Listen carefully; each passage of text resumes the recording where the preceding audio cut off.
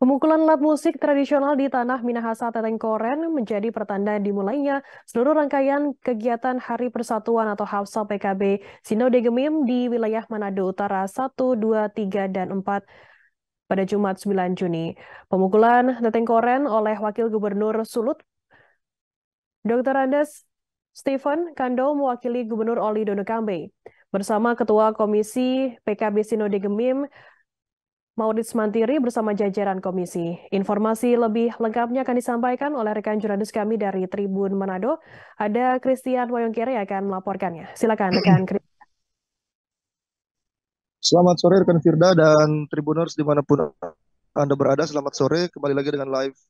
Kembali lagi dengan informasi dari kami terkait dengan pelaksanaan kegiatan perlombaan dalam rangka Hari Persatuan atau HAPSA Pria Kaum Bapa atau PKB Sinode Gemim yang berlangsung sejak hari Jumat kemarin sampai dengan memasuki hari kedua hari ini hari Sabtu uh, masih dan terus berlangsung.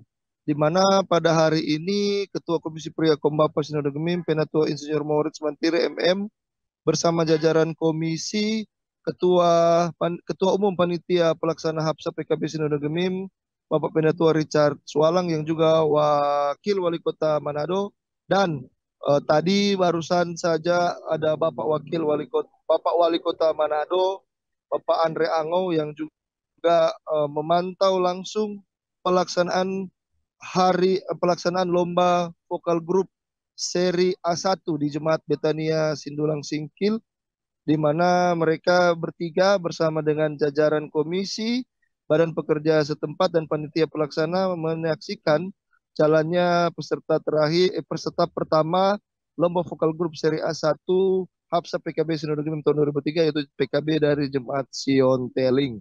Dan pada saat ini dapat kami informasikan hingga hari kedua ada beberapa jenis atau lomba yang sudah direkap dan dirangkum oleh panitia pelaksana melalui pokja atau kelompok kerja di masing-masing cabang atau di masing-masing perlombaan.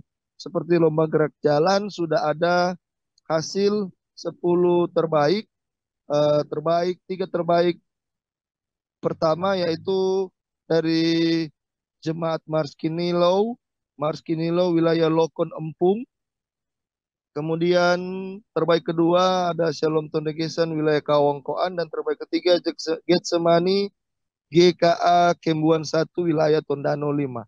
Kemudian untuk lomba atau hasil lainnya yang dapat kami rangkum yaitu hasil lomba cerdas cermat Alkitab PKB Gemim seri B di mana PKB Gemim Golgota Tondango berada di tempat pertama, di tempat kedua Yerusalem Tata Aran dan menyusul di tempat ketiga tim CCA PKB Gemim Bukit Muria Toure.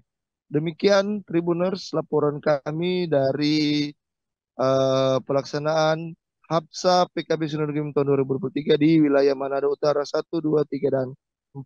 Terima kasih rekan Firda.